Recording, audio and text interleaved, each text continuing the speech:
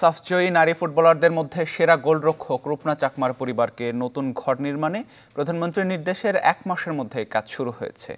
নির্মাণ সামগ্রী পৌঁছে গেছে ভুইয়াদম গ্রামে। এতে খুশি রূপনার পরিবার ও এলাকাবাসী। রাঙামাটি থেকে জিয়াউল হকের রিপোর্ট।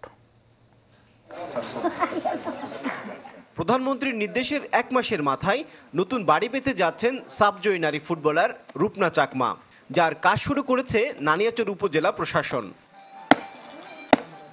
আগের সেই জীর্ণ ঘরটি ভেঙে নানিয়াচরের ভুয়াদম এলাকায় নতুন নকশায় তৈরি হচ্ছে ঘর। শুরু হয়েছে মাটি কাটা।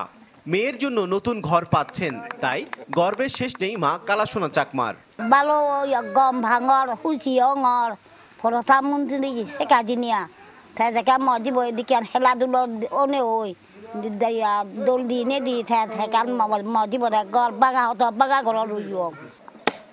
নতুন ঘরে থাকছে তিনটি বেডরুম একটি ড্রয়িং ডাইনিং কিচেন বাথরুম এবং বারান্দা।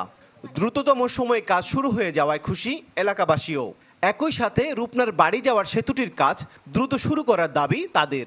এক মাসের মধ্যে মাননীয় প্রধানমন্ত্রীর নির্দেশে হয়ে যাচ্ছে আর তার পাশাপাশি ইউনো মহোদয় আর ইঞ্জিনিয়ার মহোদয়কেও অসংখ্য অসংখ্য ধন্যবাদ। রূপনার বাড়ির পাশাপাশি যদি আমাদের ব্রিজটাও যদি হতো আমরা আরও খুশি হতাম। বৃহস্পতিবার রূপনার মাকে নিয়ে নির্মাণ কাজের ভিত্তিপ্রস্তর স্থাপন করেন উপজেলা নির্বাহী কর্মকর্তা।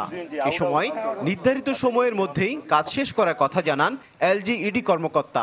মেন রোড থেকে আপনারা জানেন যেখানে যে নির্মাণ সামগ্রী পরিবহনে অনেক অনেক কষ্ট হচ্ছে। এখানে আনা যাচ্ছে না রোড নাই কোনো নদী পথেও আনা যাচ্ছে না খালে পানি নাই।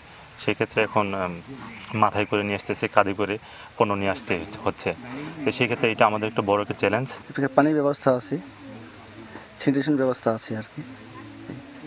আগামী ইনশাল্লাহ দুই মাসের মধ্যে কাজ সমাপ্ত হবে আশা করছি আমরা। রূপনার ঘর নির্মাণে দশ লাখ সাতষট্টি হাজার টাকা বরাদ্দ দিয়েছে প্রধানমন্ত্রীর কার্যালয়। Ziaul Haque channel twenty four Rangamati.